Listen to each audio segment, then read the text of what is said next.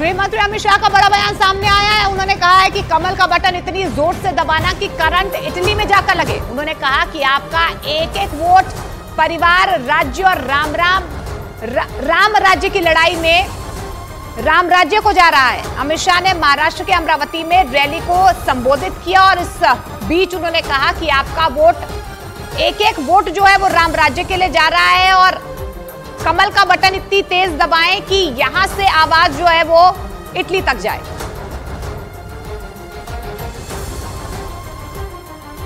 आने वाली 26 तारीख को कमल के निशान पर बटन दबाएँगे क्या? कुर्सी लेकर खड़े हैं, वो भी बोले, दबाएँगे। जरा कुर्सी उठाकर बोलो, दबाओगे? भाई और बहनों नवनीत राणा के नाम के सामने कमल का निशान है। उसको बटन तो दबाना है। मगर अमरावती वालों, इतनी ज़ोर से दबाना है कि दब, बटन अमरावती में दबे और करंट इटली में लगे।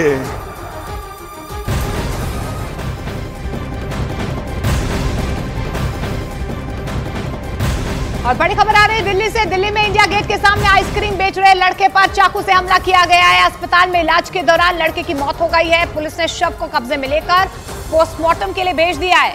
सीसीटीवी की मदद से आरोपियों की तलाश की जा रही है। तो बड़ी खबर ये दिल्ली से है, जहाँ पर एक इंडिया गेट पर आइसक्रीम बेचने वाले लड़के की मौत की खबर सामने आ रही है। जानकारी मिल पा रही है कि जैसे उसे चाकू मारा गया, उसे अस्पताल में भर्ती करवाया गया, लेकिन इलाज के दौरान उसकी मौत हो गई है।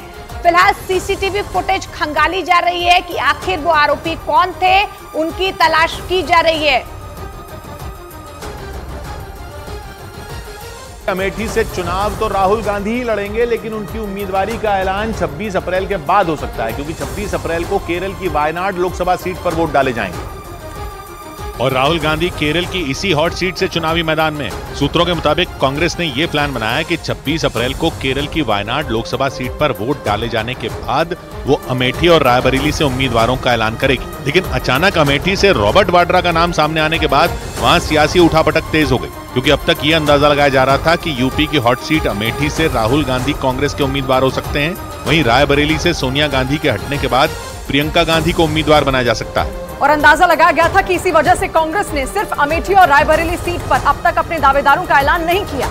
जबकि वो यूपी की बाकी सभी सीटों पर प्रत्याशी तय कर चुकी है। अमेठी लोकसभा सीट पर नामांकन की शुरुआत 26 अप्रैल से होगी। मतलब जिस तारीख को केरल की वायनाड सीट पर वोटिंग होगी, ठीक उसी दिन से अमेठी में नामांकन का सिलसिला शुरू हो जाएगा। लेकिन वहाँ लगे रॉबर्ट वाड्रा के पोस्टरों को देखकर ये आशंका जताई जाने लगी कि अमेठी में उम्मीदवारी को लेकर गांधी परिवार में ही दो फाड़ हो गई। जैसे ही इन पोस्टरों पर लोगों का ध्यान गया, बीजेपी ने इस दरार को खाई में बदलने की ठान ली। अमेठी लोकसभा सीट से प्रत्याशी और मौजूदा सांसद स्मृति ईरानी तो रॉबर्ट वाड्रा पर बुरी तरह हमलावर हो गई उन्होंने रॉबर्ट वाड्रा के पोस्टरों के बहाने कांग्रेस की अंदरूनी लड़ाई की तरफ़ इशारा करने की कोशिश की। और ये कह डाला कि कांग्रेस अब राहुल गांधी के बाद उनके जीजा यानी रॉबर्ट वाड्रा को अमेठी की जनता पर थोपने की प्लानिंग में जुटी है। कांग्रेस के कार्यकर्ता रॉबर्ट जी को मांग रहे हैं जीजा जी को मांग रहे हैं। इस दौरान उन्होंने लोगों को अपनी ज़मीन के कागज़ छिपाने की नसीहत तक दे डाली क्योंकि रॉबर्ट वाड्रा और उनकी कंपनी पर कई किसानों की ज़मीन हड़पने के आरोप लगे थे। तो जीजा जी की नज़र जगदीशपुर पे है कहीं डर है। जीजा जी आएँगे तिवारी जी तो बात के कागज़ छुपा लेना। यूपी की अमेठी लोकसभा सीट हमेशा से गांधी परिवार का गढ़ मानी जाती रही है। वहाँ 2019 में राहुल गांधी ने कांग्रेस की टिकट पर चुनाव लड़ा था, हालाँकि तब उन्हें बीजेपी की स्मृति ईरानी ने हरा दिया था। और माना जा रहा है कि इन दोनों नेताओं के बीच 2019 जैसी टक्कर ही 2024 में भी देखने को मिल सकती है।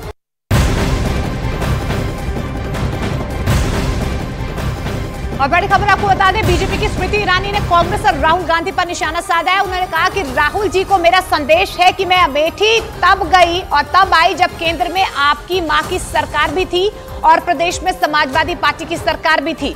मैं तब नहीं डरी तो अब क्या खाक डरूँगी? उन्होंने कहा कि मैं सौगंध खाती हूँ कि अगले पाँच साल में कांग्रेस का एक भी गुंडा अमेठी में रहने नहीं दूँगी। उन्होंने कांग्रेस पर अपने कार्यक्रम में गुंडे भेजने का भी आरोप लगाया। अगर राहुल जी तक मेरी आवाज़ पहुँच रही हो तो उनको बतलाना चाहती हूँ, मैं अमेठी चुनाव लड़ने तब आई जब आपकी माता जी की केंद्र में सरकार थी। मैं तब नहीं डरी, अब क्या खाक डराओगे? पहले तब आई जब प्रदेश में सपा की सरकार थी। अब क्या खाक डराओगे?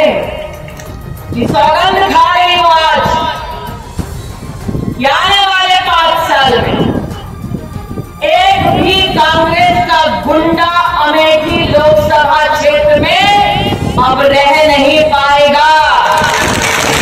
उत्तर प्रदेश की अमेठी लोकसभा सीट से रॉबर्ट वाड्रा के चुनाव लड़ने की खबरें सामने आने के बाद कांग्रेस में ही फूट पड़ती नज़र आने लगी। चर्चा थी कि यूपी की इस हॉट सीट से कांग्रेस राहुल गांधी को दावेदार बना सकती है, लेकिन इस बीच वहाँ उनके जीजा, यानी रॉबर्ट वाड्रा को प्रत्याशी बनाए जाने के लिए लगाए गए कुछ पोस्टरों से सियासी गर्मी बढ़ गई।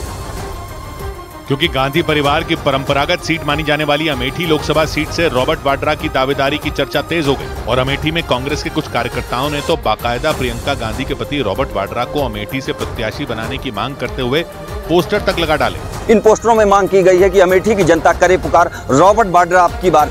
अमेठी यूपी की हॉट सीटों में एक गिनी जाती है वो इसलिए क्योंकि इस लोकसभा सीट को कांग्रेस का गढ़ कहा जाता है। लेकिन जैसे ही इस सीट से रॉबर्ट वाड्रा के चुनाव लड़ने की खबरों ने ज़ोर पकड़ा इसे कांग्रेस और खासतौर पर गांधी परिवार की फूट बताया जाने लगा।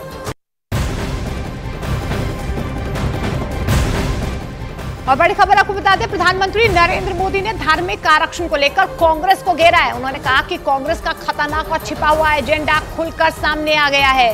सेकुलरिज्म के नाम पर वोट बैंक की राजनीति करने वाली कांग्रेस ने सामाजिक न्याय की मूलभूत भावना की भी हत्या कर दी।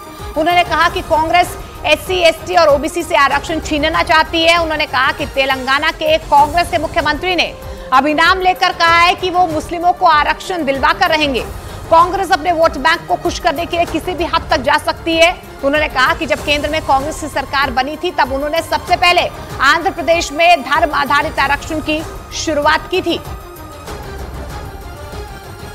ओबीसी वर्ग की सबसे बड़ी दुश्मन है कांग्रेस, जिसने ओबीसी से उनका हक छीन लिया है।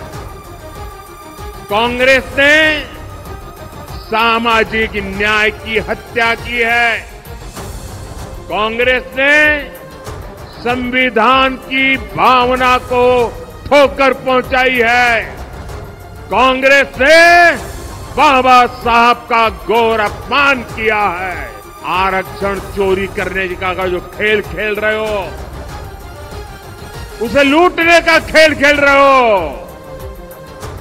आपके ये खेल बंद करने के लिए, हमेशा बंद करने के लिए, आपके मंसूबों को हमेशा हमेशा ताला लगाने के लिए मोदी को 400 पार चाहिए।